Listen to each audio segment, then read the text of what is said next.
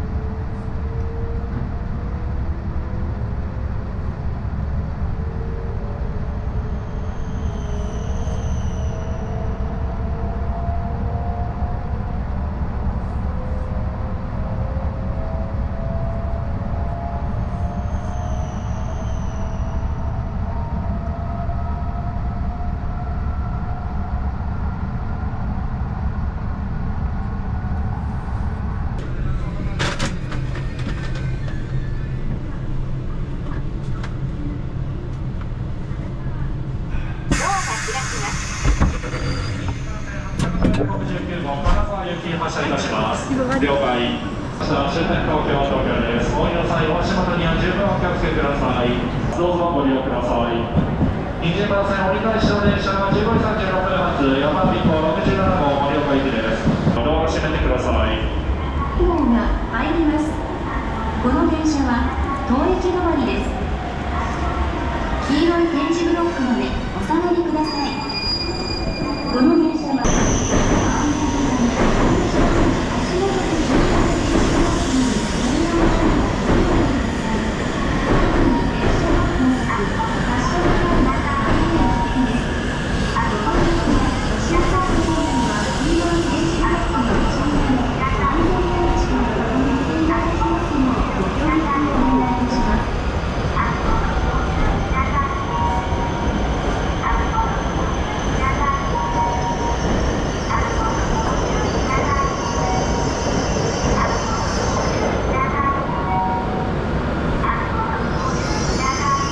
20番線に到着の電車は折り返し15時41分発時329分ご乗車ありがとうございました終点東京東京です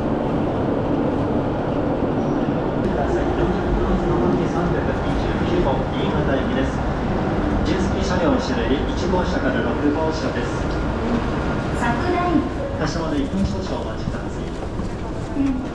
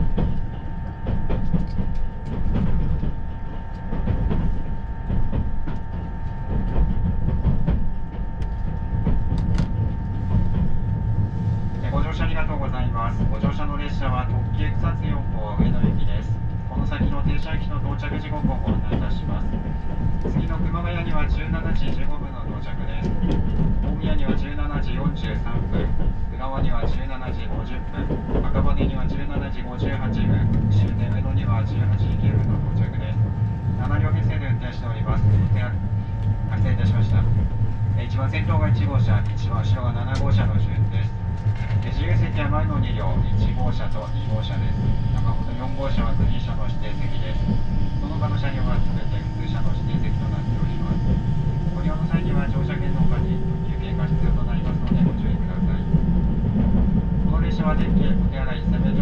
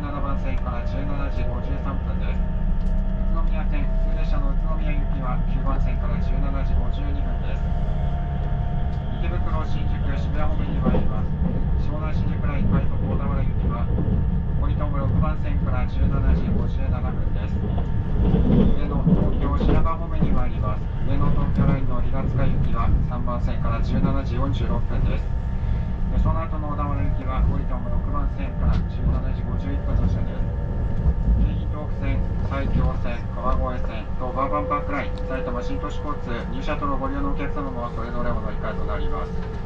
忘れ物もなさいませんようにご注意ください。大宮に到着です「